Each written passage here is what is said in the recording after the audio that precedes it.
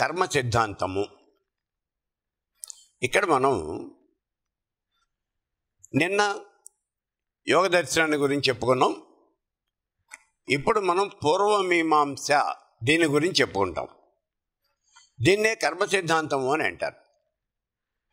క్రీస్తు పూర్వం నాలుగో శతాబ్దంలో కృష్ణద్వైపాయనుడి యొక్క శిష్యుడైనటువంటి జైమని ఈయన ఈ పూర్వమీమాంస అనేటటువంటి గ్రంథాన్ని రాశాడు.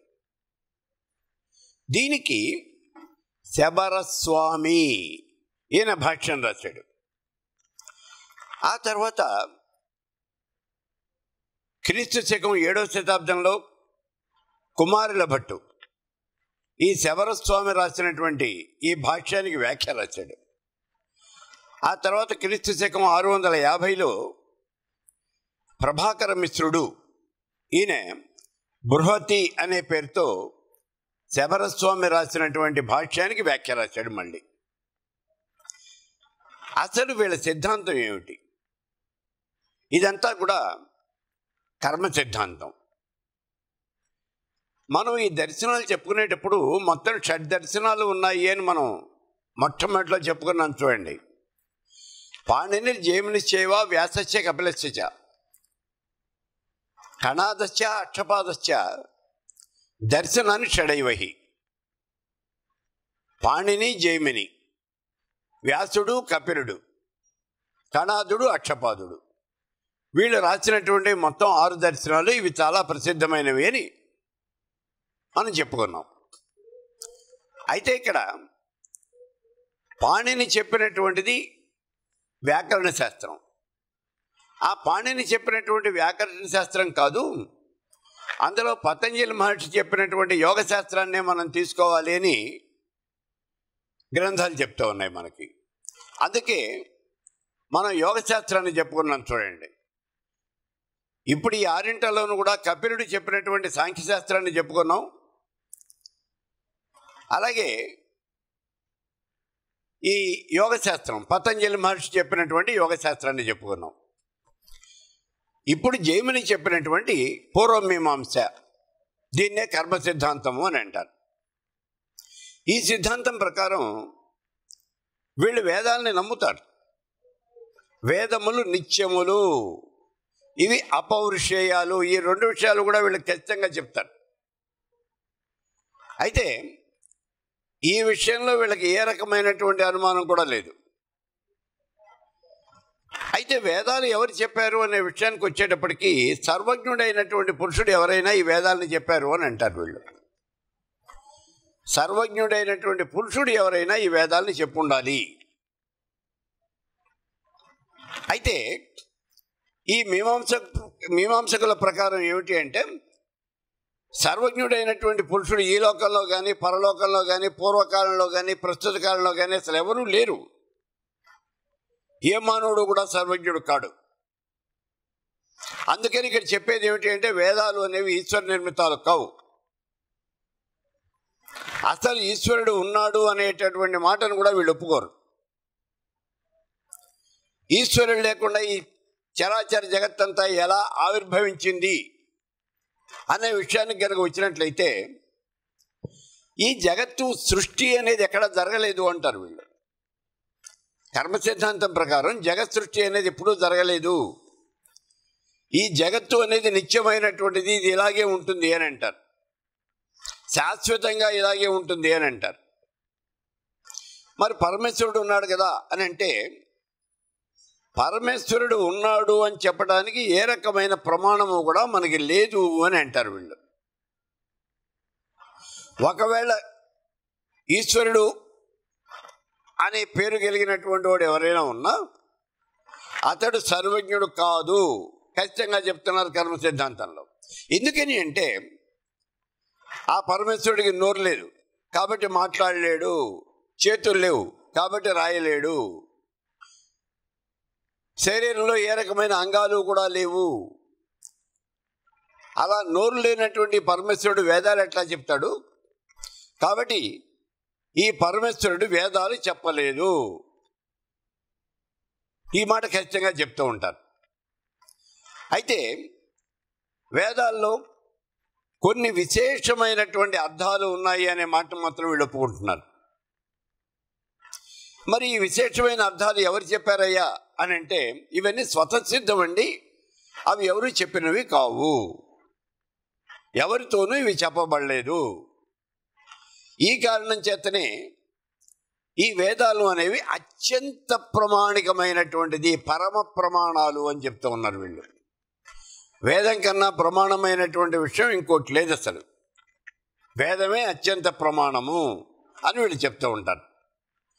అయితే వీళ్ళు ఇంకో మాట చెప్పారు.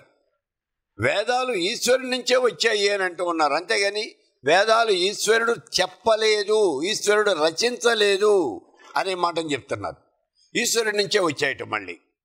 ఇక్కడే కొంచెం మన కన్ఫ్యూజన్ అనేది వస్తుంది. ఈశ్వరుడి నుంచి వచ్చాయి కానీ ఈశ్వరుడు చెప్పలేదు ఈశ్వరుడు రచించినవి కావు అని అంటారు వీళ్ళు. దాంతోనే మనకు కొంచెం కన్ఫ్యూజన్ అనేది వస్తుంది. అయితే మరి జగత్తులో అత్యంత ప్రామాణికమైనటువంటిది అన్నింటికీ ప్రమాణమైనటువంటిది ఏమిటి అంటే వేదము అని చెప్తూ ఉన్నారు. మరి ఆ వేదానికి ప్రమాణం ఏమన్నా ఉందా? అన్నింటికీ ప్రమాణం వేదమే అయినప్పుడు ఇంకా వేదానికి ప్రమాణం ఏముంటుంది? కాబట్టి వేదానికి ఇంకా ప్రమాణం అనేది ఏం లేదు అని అంటారు. అందుకే వేదాలు స్వతః ప్రమాణాలు అది వీళ్ళు చెప్పేది. వేదము అనేది స్వత ప్రమాణము అని అంటారు. అయితే ఈ వేదాలను సరిగా అర్థం చేసుకోవాలి అంటే మనం కొన్ని శాస్త్రాలు చదవాలి.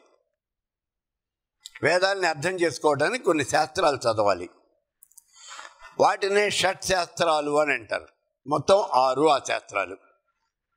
అయితే ఈ షట్శాస్త్రాలు ఏమిటి అని అంటే ఇవి శిక్ష వ్యాకరణము అలంకారము జ్యోతిషము ఛందస్సు తర్కము. ఈ ఆరు కూడా షట్శాస్త్రాలు అని మనకు చెప్పబడుతోంది. అయితే ఇవి ఆరు కాదండి షట్శాస్త్రాలు అనేవి ఇంకో ఉన్నాయి అవి ఇంకో ఆరు ఆ సెట్టు వేరు అని అంటారు. అది కూడా ఒక వాదన ఉంది. అవి ఏమిటి అంటే తర్కము వ్యాకరణము ధర్మము మీమాంస వైద్యము జ్యోతిషము అని కొందరు చెప్తూ ఉంటారు.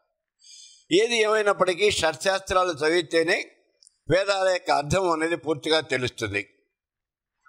అయితే మాధవ విద్యారణ్యుడు ఈ వేదానికి భాష్యం రాశాడు. మాధవ విద్యారణ్యుడు వేదానికి భాష్యం రాస్తున్నప్పుడు పూర్వమీమాంసని ఆధారంగా తీసుకునే ఈ వేదానికి భాష్యం రాయడం జరిగింది. అసలు మాధవ విద్యారణ్యుడు ఎవరు? మీకు తెలుసు. మాధవ విద్యారణ్యుడు అంటే ఆయనే విద్యారణ్య స్వామి అని అంటారు. శృంగేరి పీఠానికి అధిపతి. తెలుగు సామ్రాజ్యాన్ని స్థాపించినటువంటి మహానుభావుడు విద్యారణ్యుల వారు అని ఆయన్నే అంటారు. హరిహర బుక్కరాయలు హరిహర రాయలు బుక్కరాయలు ఇద్దరు కూడా కాకతీయ సామ్రాజ్యం నుంచి దొరికినటువంటి ధనాన్ని గుర్రాల మీద వేసుకుని పారిపోయి వస్తూ ఉన్నారు. కాకతీయ సామ్రాజ్యం తురుష్కుల వశమైపోయింది. హరిహర్ రాయలు బుక్కరాయలు వీళ్ళిద్దరూ కూడా కోశాధికారులు అక్కడ దొరికిన ధనాన్ని కోశాగారం నుంచి తీసుకుని పారిపోయి వస్తూ ఉన్నారు. అలా వస్తూ ఉన్నటువంటి సమయంలో విజయనగరం ప్రాంతాల్లో ఇక్కడ ఈ విద్యారణ్యుల వారిని కలిశారు.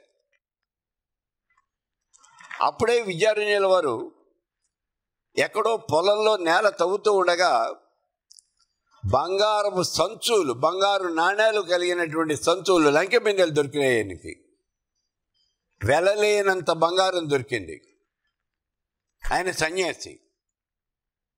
ఈ ధనాన్ని ఏం చేసుకోవాలో ఆయనకు తెలియదు అయితే హిందూ ధర్మం మీద వైదిక ధర్మం మీద ఆయనకి చాలా గౌరవం ఉంది.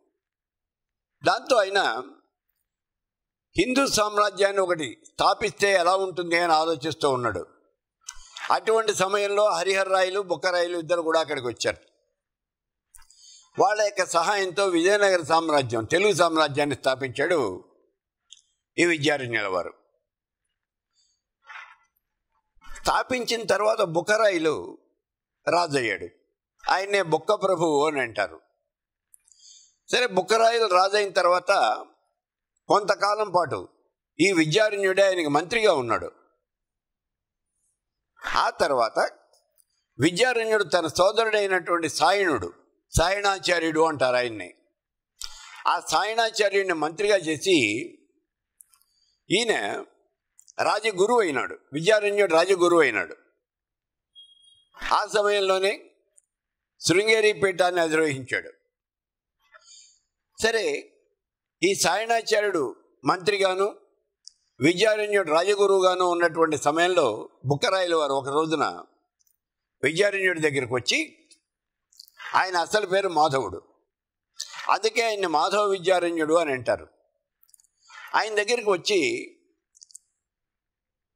గురువర్య మీరు వేదానికి భాష్యం రాయండి అని అడిగాడు. వేదాలకి భాష్యం రాయండి అన్నాడు.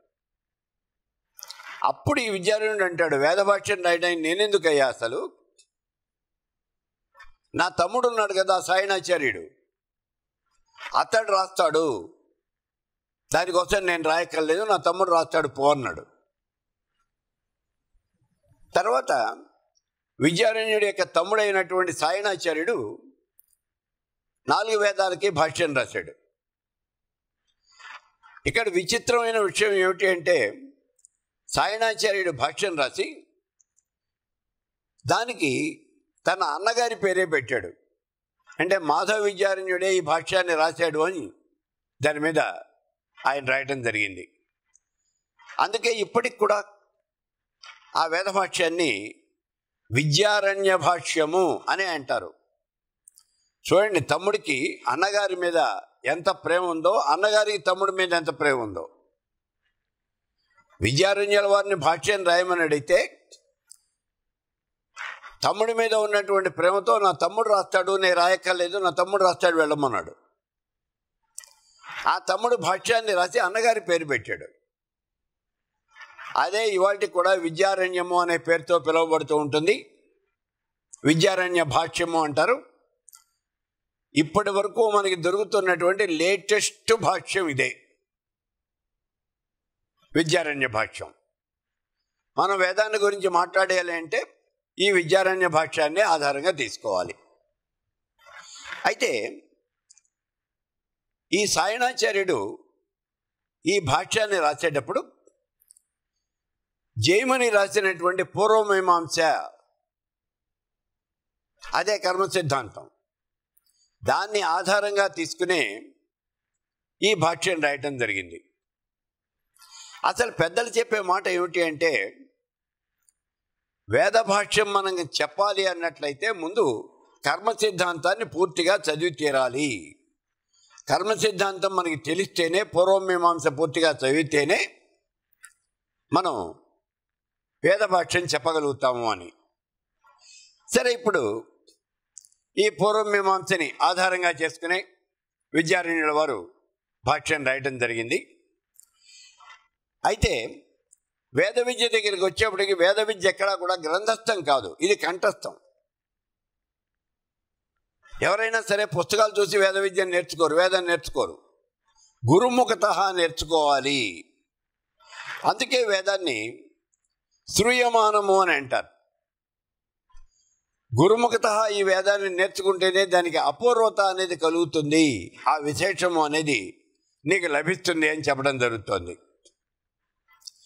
అయితే ఇక్కడ ఈ వేదవాక్యాలని మూడు రకాలుగా విభజించారు అని చెప్తారు. విధి నియమ విధి పరిసంఖ్యా విధి అని మొత్తం వేదవాక్యాలని మనం విభజించడం అనేది జరుగుతూ ఉన్నాయి. సరే ఇక వేదాన్ని ఎలా అధ్యయనం చేయాలి అనే విషయాన్ని కనుక మనం చూసినట్లయితే గ్రంథం చూసి వేదాన్ని చదువుకోవచ్చు కదా. ఆ రోజుల్లో అయితే గ్రంథాలు లేవు. కానీ ఇవాళ రోజున వేదం ప్రింట్ వేసి మనకి దొరుకుతూ ఉన్నది. వేదం ప్రింట్ వేసినటువంటి పుస్తకాలు దొరుకుతున్నాయి బయట. అందులో స్వరంతో సహా ఉన్నాయి. మరి చూసి మనం చదువుకోవచ్చు కదా. అవి మన వల్ల ఏమంటే పని కాదు. గురుముఖత అనే నేర్చుకోవాలి ఎందుకనంటే వేదంలో ఉన్నటువంటి అక్షరాలు ఏ రకంగా పలకాలి? అనేది విడివిడిగా చెప్పబడింది. వేదంలో అనుదాత్తము ఉదాత్తము స్వరితము దీర్ఘస్వరితము పులతము అని మొత్తం ఐదు రకాలుగా అక్షరాలను పలకడం జరుగుతుంది. అంటే కొన్ని అక్షరాలు కిందికి నొక్కి పలుకుతారు. కొన్ని అక్షరాలు అలా సమాంతరంగా పలుకుతారు. కొన్ని అక్షరాలను పైకి పలుకుతారు. కొన్ని అక్షరాలను దీర్ఘస్వరితము అంటే పైకి దీర్ఘం తీసి పలుకుతారు. కొన్నింటిని ప్లుతము అంటే కిందికి పైకి కిందికి. ఇలా అంటే ఓ ఓ ఇలా కొన్ని అక్షరాలు పలకడం జరుగుతుంది. ఇలా ఎందుకు పలకాలి అంటే ఇలా పలికినప్పుడు ఆ అక్షరం ఇచ్చేవంటి ఆ శబ్దంతో దాని యొక్క అర్థం అనేది మారుతుంది. దానికోసమని ఈ అక్షరాలు ఇలాగే పలకాలి అని నిబంధన అనేది ఏర్పాటు చేయడం జరిగింది. వేదనలో అక్షరాలు ఎలా పలకాలి అనే దానికి ప్రత్యేకంగా శిక్ష అని చెప్పుకున్నాం మనం. షట్శాస్త్రాల్లోనూ శిక్ష అనేది ఒకటి.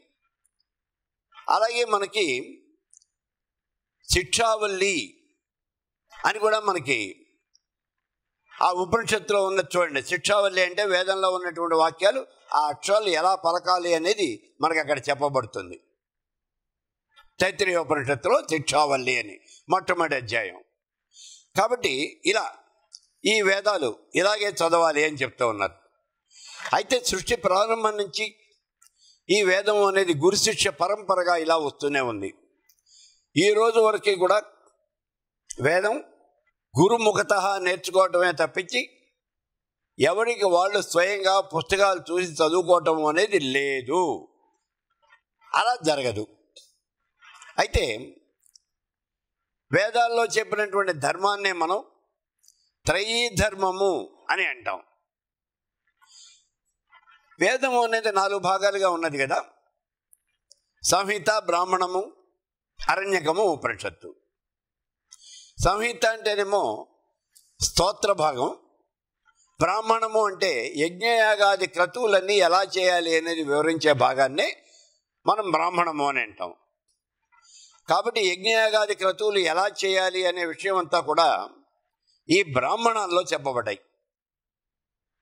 మీ ఇక్కడ మళ్ళీ అనుమానం వస్తుంది బ్రాహ్మణములు అని అన్నారు కదండి అని. నిజమే బ్రాహ్మణము అనేది ఏకవచనం. అంతేగాని బ్రాహ్మణాలు అని మనం చెప్పకూడదు. ఒక వేదానికి ఒకే బ్రాహ్మణం ఉంటుంది. అయితే నాలుగు వేదాలకి కూడా బ్రాహ్మణాలు ఉన్నాయి. ఋగ్వేదం యజుర్వేదం సామవేదం అధర్వణ వేదం. నాలుగు వేదాల్లోనూ కూడా సంహిత బ్రాహ్మణము అరణ్యకము ఉపనిషత్తు. ఇలా నాలుగు భాగాలు నాలుగు వేదాల్లోనూ కూడా ఉన్నాయి. ఒక వేదంలో ఉన్నటువంటి బ్రాహ్మణాన్ని గురించి చెబితే అది బ్రాహ్మణము అని మాత్రమే అనాలి. నాలుగు వేదాల్లో ఉన్నటువంటి బ్రాహ్మణములు మనం చెప్పేటప్పుడు అప్పుడు మనం బహువచనం వాడచ్చు. అది బ్రాహ్మణములే అవుతాయి మనకి. నాలుగు వేదాల్లోనూ సంహితలు నాలుగు వేదాల్లోనూ బ్రాహ్మణములు అనే అనాలి ఇప్పుడు మనం. సరే ఇక ఇక్కడ ఈ పూర్వమీమాంసలో ఈశ్వరుడితో సంబంధం అనే అసలు మనకి లేదు. మనం ఏదైనా ఒక కర్మ చేస్తే ఆ కర్మ ఫలితం దానంతట అదే మనకు వచ్చేస్తుంది అంతే నీ కర్మ ఫలితాన్ని ఇచ్చేవాడు పరమేశ్వరుడు అనేవాడు ప్రత్యేకంగా ఎక్కడా కూడా లేడు. యజ్ఞం చేస్తే యజ్ఞ ఫలం కనుక నీకు రావాలి అన్నట్లయితే పరమేశ్వరుడితో ఏమాత్రం కూడా సంబంధం లేదు.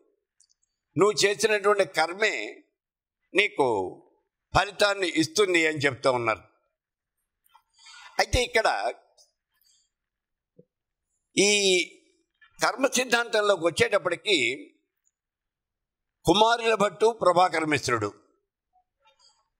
వీళ్ళిద్దరి మధ్యన కొంత తేడా అనేది కనిపిస్తూ ఉన్నది. మొట్టమొదటిగా జయముని రాసినటువంటి పూర్వమీమాంసకి భాష్యం రాసినటువంటి వాడు శబరస్వామి. శబరస్వామి రాసినటువంటి భాష్యానికి వ్యాఖ్య రాసినటువంటి వాళ్ళు వీళ్ళిద్దరూ కూడా. కుమారుల భట్టు ప్రభాకర మిశ్రుడు. వీళ్ళిద్దరూ రాసినటువంటి ఈ వ్యాఖ్యల్లో తేడా అనేది మనకు కనిపిస్తూ ఉన్నది ఇక్కడ.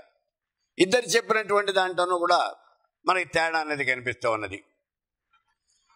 ఆత్మని గురించి ఈ కుమారుల బట్టి చెప్పినటువంటి విషయం ఏమిటి అంటే ఆత్మ పరిణామం పొందుతుంది అయినప్పటికీ కూడా ఆత్మ నిత్యమైనది అని అంటాడు. ఆత్మలు అనేకం ఉన్నాయి అని అంటారు వీళ్ళు. ఆత్మ ఒకటి కాదు చాలా ఆత్మలు ఉన్నాయి అని చెప్తున్నాడు కుమారుల భట్టు. అయితే ఆత్మను గురించి ప్రభాకర మిశ్రుడు చెప్పే విషయం అంతా కూడా వేరుగా ఉంటుంది.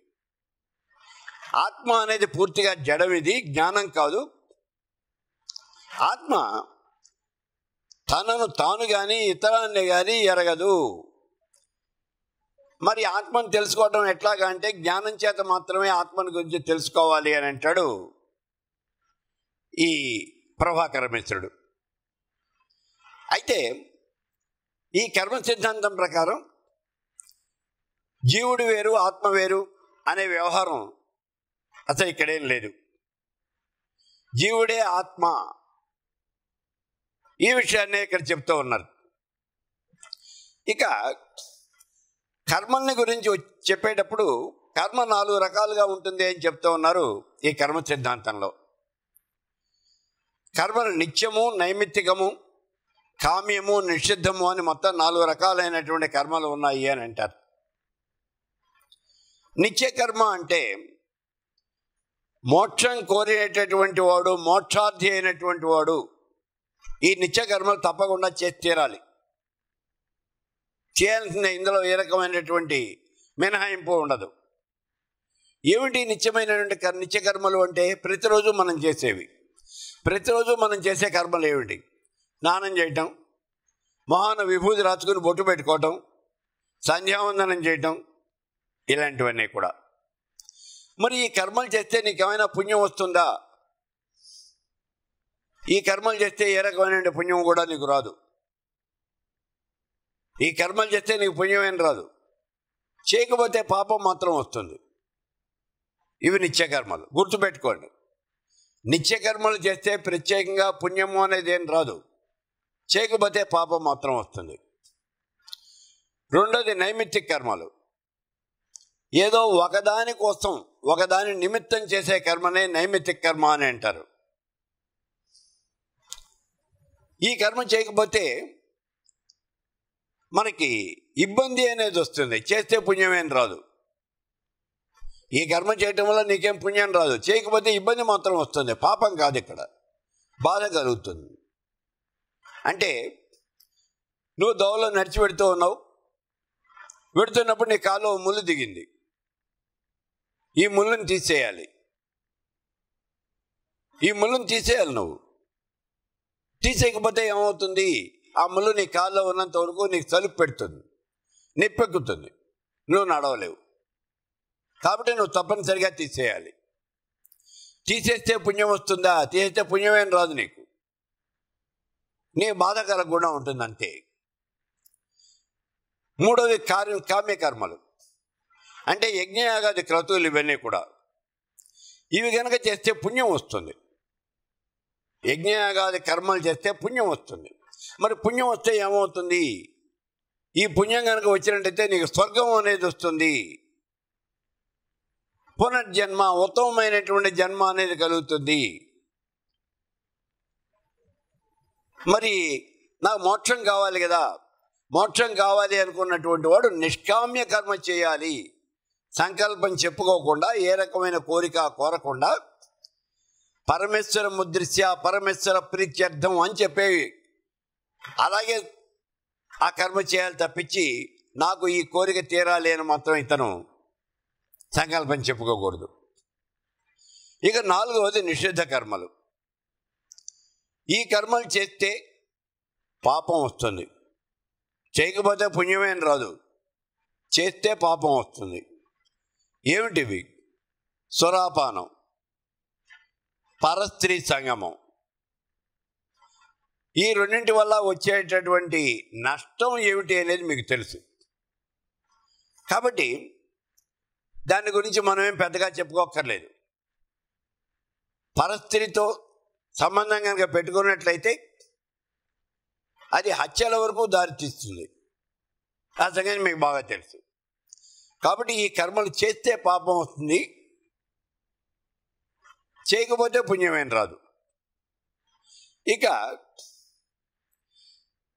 యజ్ఞము దానము తపస్సు ఇలాంటి కర్మలన్నీ కూడా మానవుణ్ణి పునీతునిగా చేస్తాయి అని చెప్తూ ఉన్నారు. యజ్ఞము దానము తపస్సు.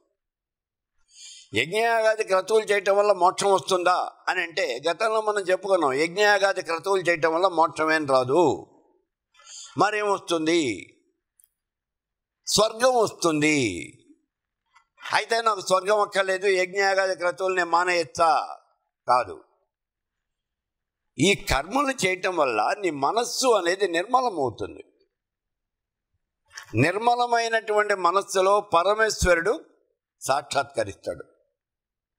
దాన్నే ఆత్మ సాక్షాత్కారము అని అంటారు. కాబట్టి పరమేశ్వర సాక్షాత్కారం పొందాలి అంటే నువ్వు కర్మలు చేసి తీరాలి. కొంతవరకు నువ్వు కర్మలు చేయాలి ముందు. ఎప్పటిదాకా? నీ మనస్సు నిర్మలం అయ్యేదాకా మనం పురాణాలు ఇతిహాసాలు చదువుతూ ఉంటాం. ఈ చదవటం వల్ల మోక్షం రాదు. కానీ పురాణాలు చదవటం వల్ల అందులో ఉన్నటువంటి విషయాలన్నీ కూడా నీలో జీర్ణించకపోతే నీ ప్రవర్తనలో మార్పు అనేది వస్తుంది. నీ మనస్సులో మార్పు అనేది వస్తుంది. నీ మనస్సు నిర్మలము స్వచ్ఛము అవుతుంది. అలా స్వచ్ఛమైనటువంటి మనస్సులో పరమేశ్వరుడు సాక్షాత్కరిస్తాడు. అందుకు ఈ పనులన్నీ కూడా చేయండి అనేది. అయితే మహాత్ములు చేసేవన్నీ ధర్మమేనా? ఈ అనుమానం వచ్చినప్పుడు మహాత్ములు చేసేవన్నీ కూడా ధర్మము అని చెప్పేసి మనం అనుకోకూడదు అని చెప్తారు. ఎందుకనంటే ధర్మస్వరూపుడైనటువంటి మహాత్ముడు ఈ లోకం కోసం కొన్ని కొన్నిసార్లు సాహసమైనటువంటి కృత్యాలు చేస్తారు. వాళ్ళు చేశారు కదా అని మనం ఆ పనులు చేయకూడదు. ఈ విషయాలు మనం చాలా గట్టిగా గుర్తుపెట్టుకోవాలి. ఇదేంటే మనకి చిన్న విషయం కూడా చెప్తారు చూడండి. శంకర భగవత్పాదుల వారు బాట వెంట పెడుతూ ఉన్నారు. వెనకాల శిక్షగణం కూడా పెడుతూ ఉన్నది. త్రోవలో ఆయనకి ఒక- ఎక్కడో ఒక చోట కళ్ళు పాక్ కనిపించింది. అందులోకి వెళ్ళి ఆయన కళ్ళు తాగేశారు. గురువుగారే తాగారు కదా మనకేమిటి అని శిష్యులు కూడా తాగితందనలాడారు కొంత దూరం పోయేటప్పటికి ఒక చోట ఒక కమ్మరివాడు కమ్మరివాడు అంటే ఇనుము ఇనుపనులు చేసేవాడు. ఇనుము కరిగిస్తూ ఉన్నాడు. భగవత్పాదుల వారు పాకలోకి వెళ్ళిపోయి అందులో కరిగినటువంటి ఇనుముని తీసుకుని ఆయన మళ్ళీ తాగేశాడు. అవి చూసిన శిష్యులంతా కూడా అవాక్ అయిపోయి చెంపలు వేసుకుని బయటకు వచ్చారు. అంటే గురువు గారు చేశారు కదా అని మనం ప్రతి పని మనం చేయకూడదు. దానికి కూడా కొన్ని హద్దులు ఉంటాయి. కాబట్టి మహాత్ములు చేసేవన్నీ కూడా ధర్మమా అని అంటే లోకం కోసం అని కొన్ని పనులు వాళ్ళు చేసేస్తారు అంతే. వాళ్ళు చేసింది ధర్మం అంతే. అది అలా వాళ్ళు చేశారు కదా అని మనం మాత్రం చేయకూడదు. అందుకే ధర్మం విషయంలో శాస్త్రము శాస్త్రాధ్యయనం చేసినటువంటి మహాత్ముల యొక్క నిర్ణయాలే శిరోధార్యము అని చెప్తూ ఉన్నాయి ఈ పూర్వం మీమాంస సూత్రాలు. వేదం చెప్పినట్టుగానే కర్మ చేయాలి. ఈ విషయాన్ని మాత్రం మనం గట్టిగా గుర్తుపెట్టుకోవాలి.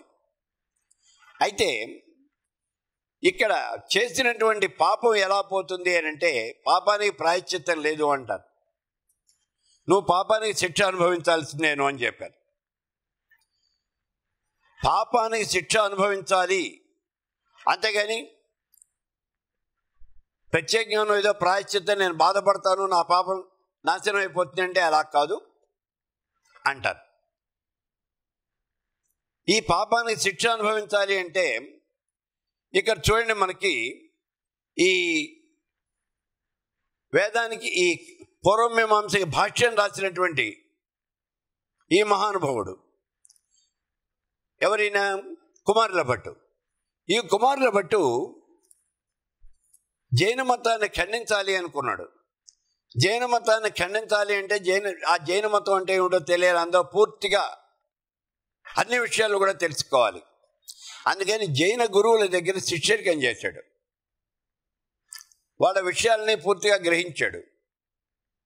ఆ తర్వాత వచ్చి వాళ్ళ దగ్గర నేర్చుకున్నటువంటి విద్యతోనే జైన మతాన్ని ఖండించాడు. అయితే జైన మతాన్ని ఖండించాడు అనే మాట బాగానే ఉంది. కానీ గురుద్రోహం చేశాడు కదా. గురువు దగ్గర విద్య నేర్చుకుని ఆ గురువుకు ద్రోహం చేశాడు కదా. మరి ఈ పాపం ఎక్కడైపోతుంది అందుకని ఆయన శిక్ష వేసుకున్నాడు.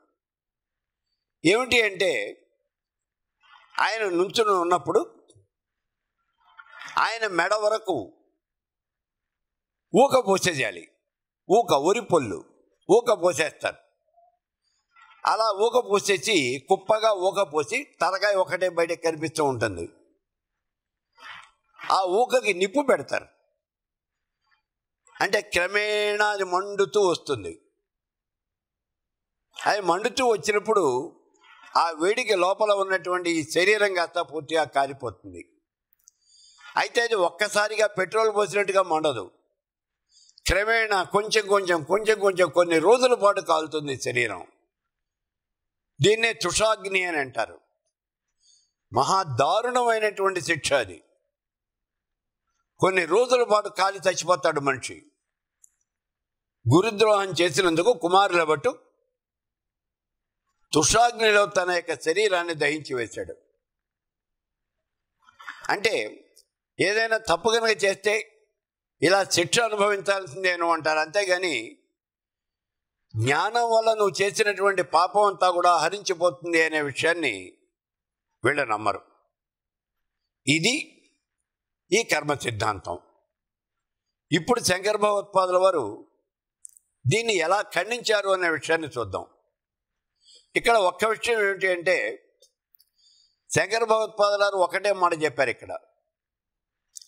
జ్ఞానాదేవత కైవల్యం. మోక్షం అనేది కర్మలు చేస్తే రాదు. మరి ఎట్లా వస్తుంది? జ్ఞానం వల్ల మాత్రమే మోక్షం వస్తుంది అన్నారు. తర్వాత ఆత్మలు అనేక ఉన్నాయి అంటే అనేకమైనటువంటి ఆత్మలు ఏవో ఉన్నది ఒకటే ఆత్మ అని చెప్పారు. ఆత్మ ఒకటే. ఆత్మే ఆత్మ సర్వభూతాన్ని అన్ని భూతాల్లోనూ ఉన్నటువంటిది ఆత్మేను అన్నారు. ఇక నీవు ఎప్పుడైతే జ్ఞాన సముపార్జన చేశావో అప్పుడు నువ్వు చేసినటువంటి పాపం అంతా కూడా హరించుకుపోతుంది జ్ఞానాగ్నిలో నువ్వు చేసినటువంటి కర్మంతా కూడా హరించుకుపోతుంది అని చెప్పారు. ఇక్కడ శంకర భగవత్పాదుల వారు చెప్పినటువంటి విషయం ప్రకారం సంచిత కర్మ. ఈ సంచిత కర్మ అది పెద్ద కొండలాగా ఉంటుంది. ప్రతి జన్మలోనూ కూడా మనం చేసినటువంటి కర్మ అంతా కూడా ఒక చోట పూగుబడుతుంది దాన్నే సంచిత కర్మ అంటారు. ఆ సంచిత కర్మలో కొంత భాగాన్ని ఇప్పుడు మనం ఈ జన్మలో అనుభవిస్తాం. మరి ఈ జన్మలో చేసేది ఆగామి కర్మ. మనం చేసే ఈ ఆగామి కర్మ వెళ్ళి సంచితంలో కలుస్తుంది. ఈ జన్మలో మనం అనుభవించేదాన్నే ప్రారంధము అని అంటారు. ఇలా కర్మ మూడు రకాలుగా ఉన్నది అని చెప్తారు. ఈ మూడు రకాలైనటువంటి కర్మల్లో కర్మల్లోనూ కూడా సంచితమైనటువంటి కర్మ అంటే మన యొక్క కర్మ నిల్వ అనేది ఎంతైతే ఉన్నదో అది నాశనం కావాలి ముందు. దాని గురించి అసలు ఈ పూర్వమీమాంసలో ఏమాత్రం చెప్పాల. కానీ భగవత్పాదుల వారు మాత్రం సంచిత కర్మ నాశనం కావాలంటే జ్ఞానము అనే అగ్నిలోనే ఈ కర్మ అనేది పూర్తిగా నాశనం అయిపోతుంది అని చెప్పారు. ఆత్మలు అనేకం లేవు ఉన్నది ఒకటే జీవాత్మ పరమాత్మ రెండు ఒకటేను అన్నారు. ఇదే అద్వైత సిద్ధాంతము అని చెప్పారు. జీవాత్మ పరమాత్మ రెండు ఏకం కావటమే అదే మోక్షము సాహిత్యము అని చెప్పారు. ఇలా మోక్షం పొందినటువంటి మానవుడికి పునర్జన్మ లేదు అని అంటూ ఈ పూర్వమీమాంస జయముని చెప్పినటువంటి పూర్వమీమాంసని ఇందులో పూర్తిగా ఖండించారు. అయితే పూర్వమీమాంస మొత్తం పనికిరాదు అనలేదు. పూర్వమీమాంసలో చెప్పినటువంటి కర్మ సిద్ధాంతం అంతా కూడా ఒప్పుకున్నారు. మీరు కర్మలు చేయండి అన్నారు. కర్మ చేస్తే మనస్సు నిర్మలమవుతుంది అనే విషయాన్ని భగవత్పాదుల వారు కూడా ఒప్పుకున్నారు. అందుకే కర్మలు చేయండి యజ్ఞయాగాది క్రతువులు చేయండి అన్నారు.